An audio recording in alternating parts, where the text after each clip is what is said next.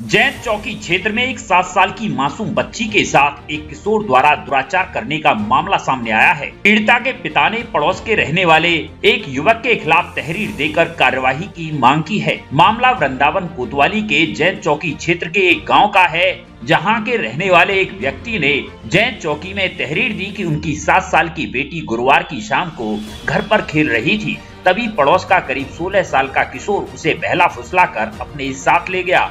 और घर के समीप एक प्लॉट में उसके साथ हैवानियत की। इस घटना को पीड़ित बच्ची की चचेरी बहन ने भी देखा, लेकिन वो डर की वजह से किसी को बता न सकी। शुक्रवार को उसी बच्ची ने आँखों देखी, घटना परिजनों को बताई तो परिजन सख्ते में आ गए। आरोप है कि जब पीड़िता के परिजन आरोपी परिजनों से शिकायत करने पहुँचे तो उनके साथ गाली गलौज करते हुए उनके साथ जाति सूचक शब्दों का प्रयोग किया। इसके बाद मामला जैन चौकी तक जा पहुँचा, जहाँ काफ़ी देर तक पीड़ित परिवार पर समझौते का दबाव बनाया गया। घटना की जानकारी होने पर कोतवाली प्रभारी अजय कौशल पीड़िता और उसके परिवार को कोतवाली ले आए, जहाँ घटना के बारे में पीड़िता के चाचा ने घटना के बारे में जानकारी दी।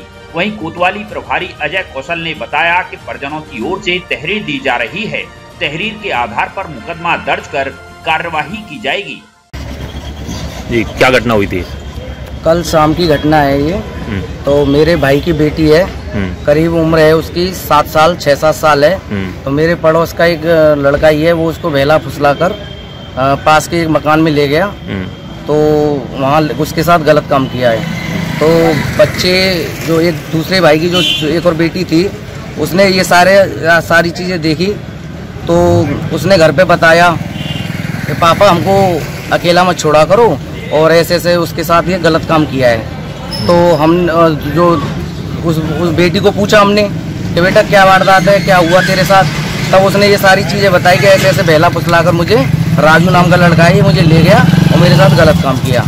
तो ये चीज़ें हमें जब घर में पता चली तो घर में माँ एकदम से सब शौक में पड़ गए कि ये क्या हुआ? तब उसके बच्ची जो राजू नाम का लड़का है, उसके घर पे हमारी मम्मी गई और छोटे भाई की जो वाइफ थी, वो भी गई। तो वहाँ उनसे शिकायत की कि आपके बच्चा ने ऐसे ऐसे हरकत की है।